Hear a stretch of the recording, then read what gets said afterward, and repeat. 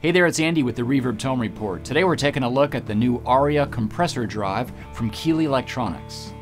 Always the trailblazer, Robert Keeley has connected two well-worn paths that many pedal makers have wandered before with the Keeley Aria compressor drive. These two Keeley tones have separately inspired countless musicians, but now they sit side by side in one versatile tool.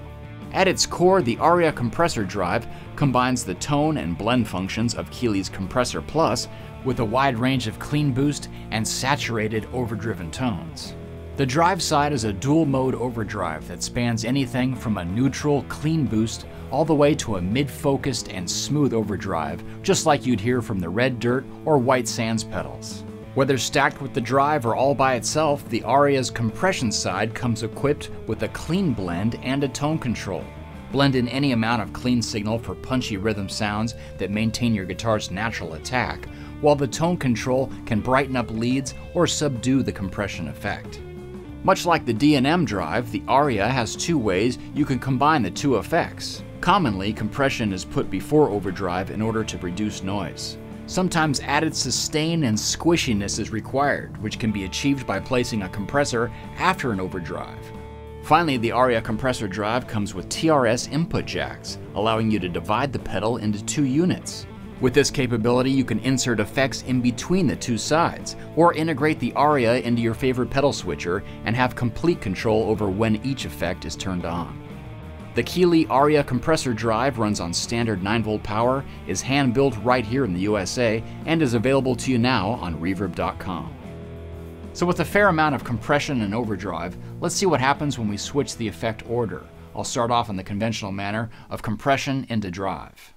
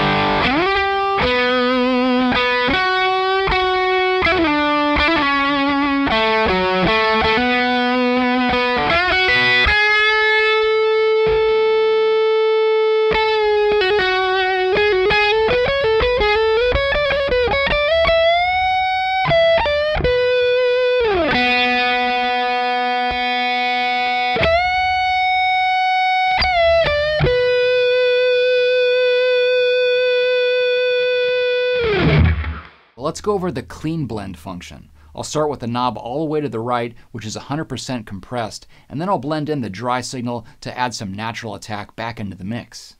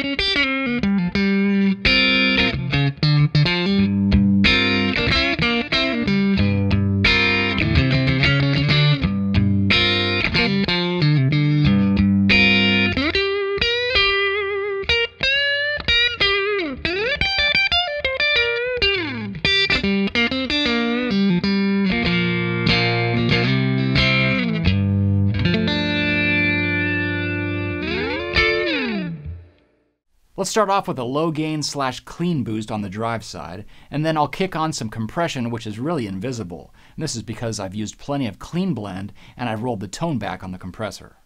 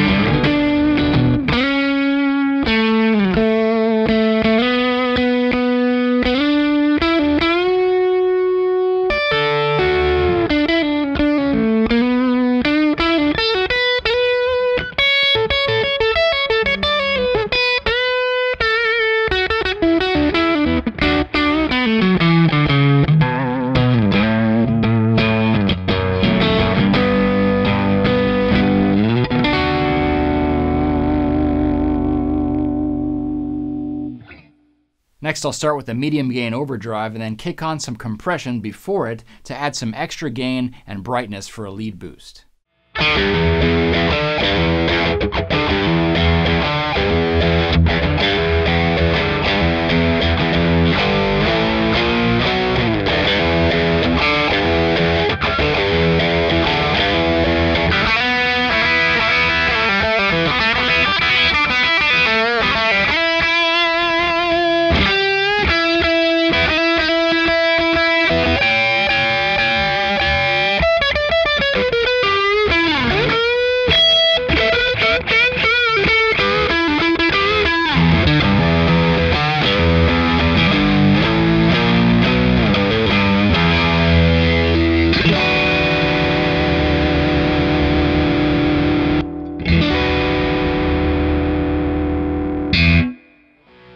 Well, there's your look at the Aria compressor drive from Keeley Electronics. And you can find this versatile two-in-one pedal right here on Reverb.com. Thanks for watching.